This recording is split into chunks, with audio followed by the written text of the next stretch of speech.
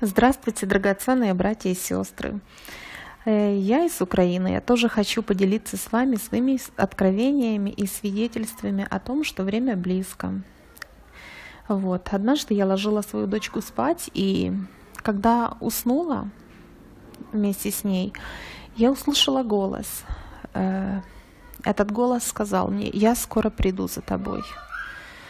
Вот, я проснулась от этого голоса, он был такой сильный, такой яркий, и я проснулась, я, естественно, рассказала об этом своему мужу. Но муж не сильно как бы мне поверил, что это вообще был Господь, и что это речь идет о вознесении, хотя я понимала, что это идет э, речь о вознесении церкви, и что Господь очень скоро придет. Но все же я помолилась и попросила у Господа подтверждение, что если это Он сказал, пусть даст мне подтверждение.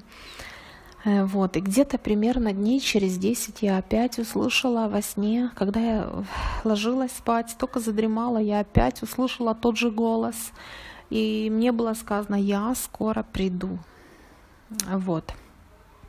Еще мне были даны сны, о белом платье, вот что я и дочь моя, мы смотрим, мы то ли мы выбирали где-то в салоне, я уже не помню точно, но я помню два белых красивых свадебных платья. Вот. Еще помню сон о поезде, что я э, зашла в поезд, и поезд должен был отправиться. Э, вот, и пришел проводник проверять людей, которые были в поезде. И он подошел ко мне, и я ему давала билет. Вот, он посмотрел на меня, даже так немножко с грустью, сказал, зачем ты ходила покупать билет, хватило бы только твоего паспорта. Вот, такой сон был интересный. Еще мне были даны сны о том, что мы подняты были над землей.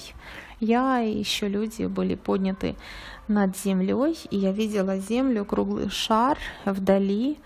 Потом мы оказались где-то внутри помещения и сели за столы. Все сидели, столы не были накрыты, вот.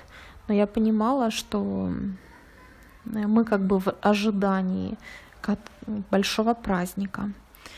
Вот. Еще мне Господь в духе однажды сказал такие слова, я приду раньше, чем ты думаешь. Ну, как бы я э, ждала Христа, я знала, что Он может прийти в любой момент, и ждала Его постоянно, но где-то в сердце я думала, что может лет еще пять, может лет десять. Вот. Но мне было сказано, я приду раньше, чем ты думаешь. Э, вот. Еще хочу сказать о том, что однажды ночью мне часто Бог говорит через сны, очень часто через Слово Свое, через Библию. И бывает тоже вот в видениях э, Господь дает э, какое-то понимание, дает какие-то видения, связанные с последним временем, но как бы вот в снах это как-то так ярко и сильно запоминается. Вот во сне мне было место Писания из Исход 12 главы, где когда Господь выводил евреев, народ свой с египетского рабства, он сказал, чтобы они совершили Пасху, и когда они ели, чтобы чресла их были припоясаны, э, вот, обувь на ногах ваших и посохи ваши в руках ваших. То есть, э, когда я проснулась, я поняла, что это состояние нашей духовной готовности. И тоже у меня такое было э, как бы вопрос, что это так близко, настолько близко, что прям быть обутыми и одетыми, и прям с посохами в руках. Вот. Тоже где-то прошлый, в прошлом году мне Бог дал такой э, как бы ночью тоже такое послание, что это произойдет, когда твоя мама будет сдавать квартиру. Вот, моя мама сдает квартиру студентам. Студенты приезжают на сентябрь, а октябрь, вот где-то э, эти месяца она едет, едет жить в деревню на время учебы студентов. И так немножко себе подзарабатывает денег таким способом, она сдает квартиру. Вот, и мне было сказано как бы указание на то, что это, это, я понимаю, что было сказано, это произойдет, не было сказано восхищение, но я понимаю, что э, это событие, которого ждет моя душа. Вот. Что произойдет, это когда она будет сдавать квартиру. То есть это указание на осень. Еще недавно совсем я видела белые платья, которые остались. Вот я сразу в духе понимала, что уйдут только те, кто носит белые одеяния. И тоже совсем недавно такое как бы от Господа было, что осталось до полуночи две минуты. Две минуты. Э, вот. Мы знаем, что в полночь раздался крик «Жених идет».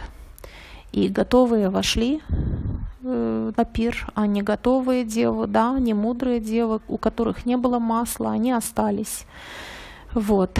И вот эти как бы часы и две минуты. Да.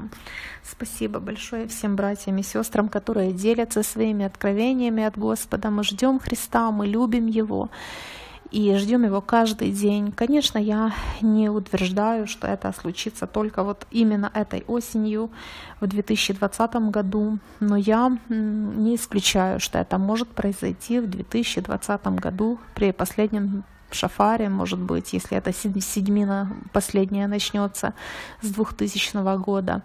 Вот, я жду Христа. И даже если восхищение не произойдет эм, в сентябре месяце этого года, я все равно, я не разочаруюсь, я также буду ждать Христа, потому что эм, эти откровения, которые Бог вклал в, мои, мое сердце, они очень сильные.